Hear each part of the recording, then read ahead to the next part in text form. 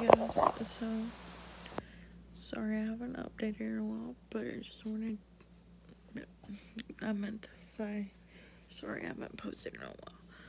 But I just wanted to get on here and say Merry Christmas and do y'all a little update on life.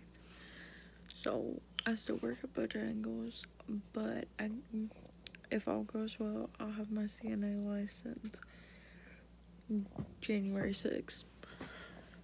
I got accepted into a college. Considering it's a small school, I'm not saying what it is. And I committed into the college. I I've been working a lot lately and I've been sleeping a lot lately, which is good.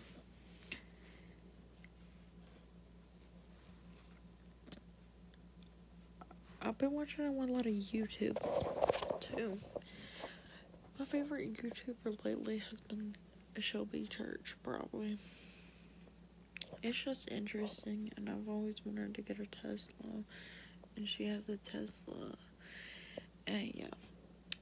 Also, I might do a product review on this face product that I've been loving, and it's helping my skin so much. But unfortunately, I don't have a before and after but I might be able to find a picture where my skin's like almost uh, before I started using the product, but it's a really good product.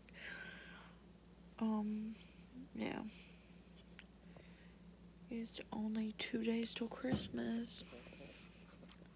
Merry Christmas, y'all. I hope y'all are doing well and y'all have a great New Year's because I'm gonna be real. I'll probably forget to post. But anyway, bye, you guys. I'll talk to y'all later.